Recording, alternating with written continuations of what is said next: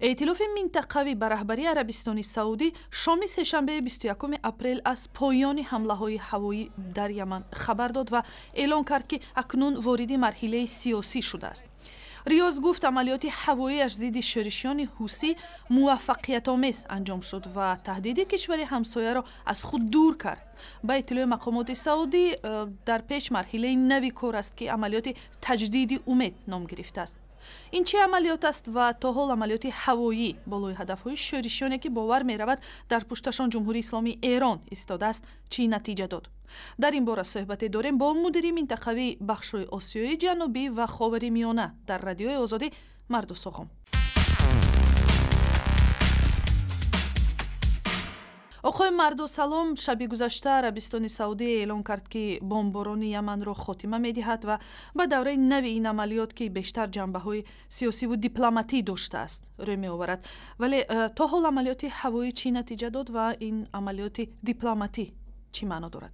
دیروز قبل از اعلام تصمیم عربستان اولین بار وزارت امور خارجه ایران بود که خبر داد حملات عربستان به زودی اتمام پیدا می‌کنه. این نشان دهنده آن است که ایران از این تصمیم خبردار بود. بنابراین میشه نتیجه گرفت که با ایران مذاکراتی گفتگوهای انجام گرفته بود. ولی درست این توافق چیست و جزئیات آن مشمول چه نکاتی می شود این سوال خیلی مهمی است. تا چه اندازه تصمیم عربستان یک طرفانه است؟ به اون معنا که عربستان تصمیم گرفت حملات خود را متوقف کند و امیدوار است که با مذاکرات به نتیجه ای برسد. یا اینکه این مذاکرات به طور پنهان انجام گرفته است و جزئیات برای عربستان و برای شورشیان حوسی و ایران واضح است معلوم است و بعد از این اجرای یک نقشه صلح یا بازگشت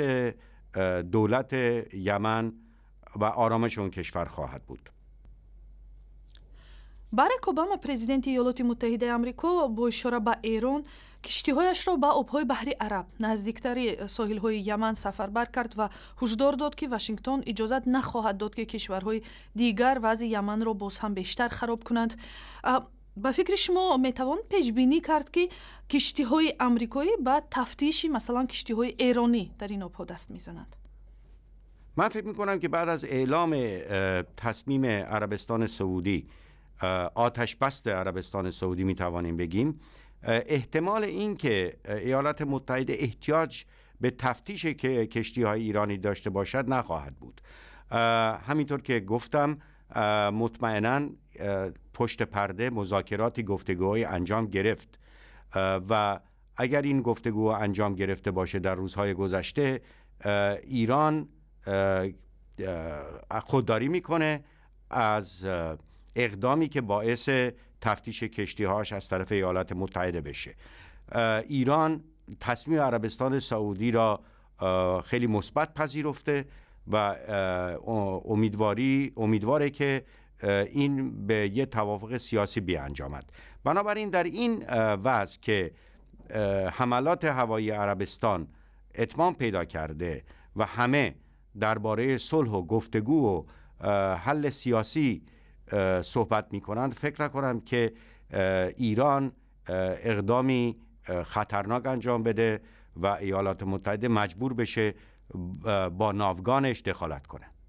ташаккур ба саволҳои радиои озодӣ мудири минтақавии бахшҳои осиёи ҷанубӣ ва ховари миёна дар радиои озодӣ мардо соғом посух дод